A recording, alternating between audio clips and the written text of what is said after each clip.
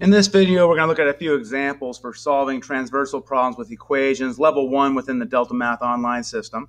So we're given parallel lines, M and N are parallel. It says find the value of X. For my students, I want you to show your work, uh, write an algebraic equation uh, based on the relationship, and then show the work to solve for X.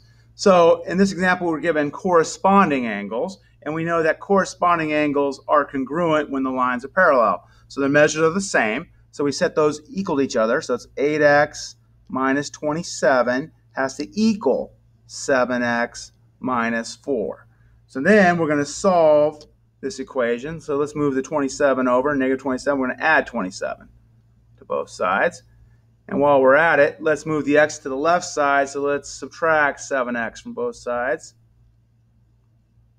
And so I get x on the left side equals uh, negative 4 plus 27 is Michael Jordan, right? 23. All right, so then let's type that in. 23. Again, you just have to put the, the number in there. You don't have to write x equals here, okay? Just put the number in, even though it doesn't say it on this one.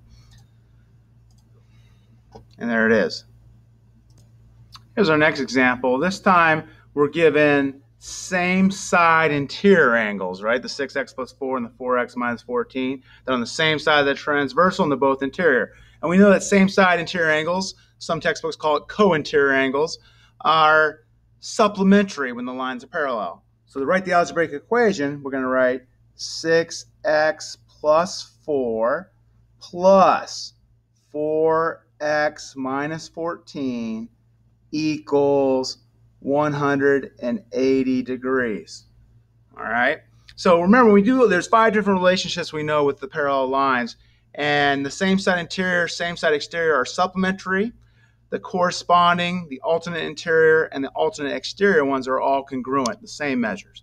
So when you write the equations, you're either going to be writing they're equal or they add up to 180. But you need to know the relationships. The common mistake students make is they try to guess which one, or they try to do all them the same way, and they get you know, you get half the problems right, half the problems wrong, which doesn't work out for you. Okay, so now we're going to combine like terms. So we get 10x minus 10 equals 180. We're going to add that 10 to both sides. So we get 10x equals 190. We divide both sides by 10, and we get x equals 19. So let's check to see if we got it right. Submit. And We got it right. And they're all that way. So it's all based on the relationship, write the algebraic equation, and then solve for x. That's all there is to it.